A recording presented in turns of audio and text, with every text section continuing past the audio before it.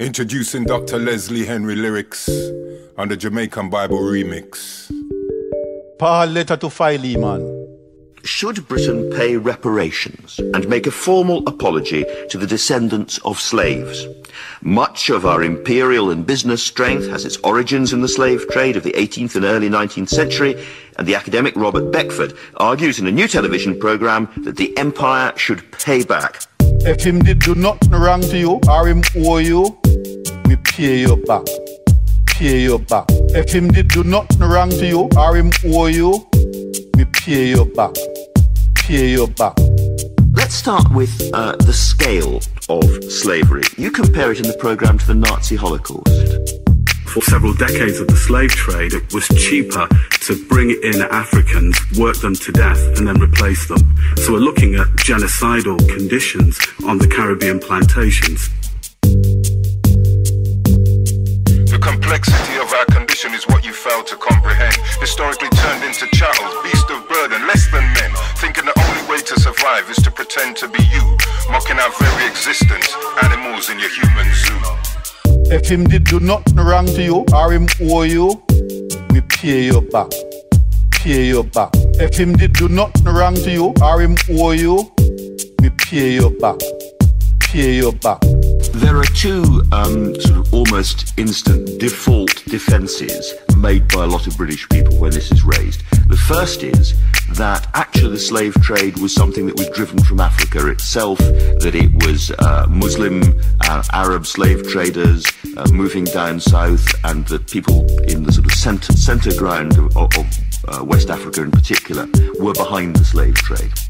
We focus on is what the British did. I'm not that concerned with what one ethnic group did to another ethnic group in Africa. I'm interested in how the British participated in it, the huge profits that were made, and the incredible economic benefit to this country, and also the underdevelopment of Africa, and more so the brutalization of African people in the Caribbean Wearing your names in our African culture's disrespected. Educated against ourselves is why we wind up disaffected. The saddest case in the saddest place, even these words leave a bitter taste in my mouth, cause as an African, to you I'm human waste. If him did do nothing wrong to you or him owe you, we pay you back. Pay you back. If him did do nothing wrong to you or him owe you, we pay you back. Pay you back. The second defence mechanism, people say, is well, it was Britain uh, which uh, ended the slave trade. It was it was it was Wilberforce, and then it was the Royal Navy, and that Britain's got a lot to be proud of in stopping the slave trade. When I was taught history, I was always told to approach it from a multi-dimensional perspective, to look at what happened in the, the subjugated histories, not just read history like TV history from the good and the great. In the Caribbean, they talk about the slaves who ended slavery. The fact that there were rebellions across the Caribbean in the 1830s that made slavery economically impossible and just not viable. So we know that Britain ended the trade in 1807. We know that the slavery was ended in 1834, 1838. Took a little bit of a while for it to work through. But we cannot discount the influence and the work of Africans in the Caribbean who helped to undermine slavery. So it's a much more complex picture.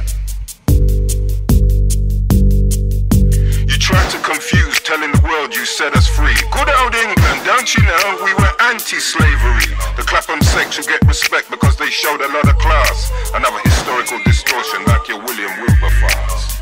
If him did do nothing wrong to you or him owe you, we pay you back. Pay you back. If him did do nothing wrong to you or him owe you, we pay you back. Pay you back. And probably m- most controversially, you say there should be payback, there should be reparation. I believe that as a mature, sophisticated, post-industrialized nation that we are, we're in a very strong and dynamic position and to be able to apologize for the past is not a sign of weakness, but a sign of strength. And I also believe that things like compensation and an apology are psychosocial in their impact. They help to heal the nation and enable people to move on.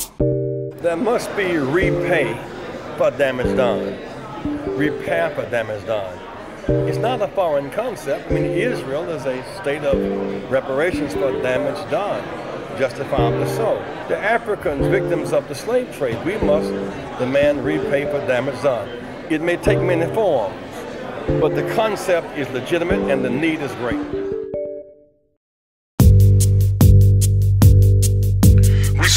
Deception, speak our truth in redemption songs. Reparations transcends money, it's about repairing historical wrongs.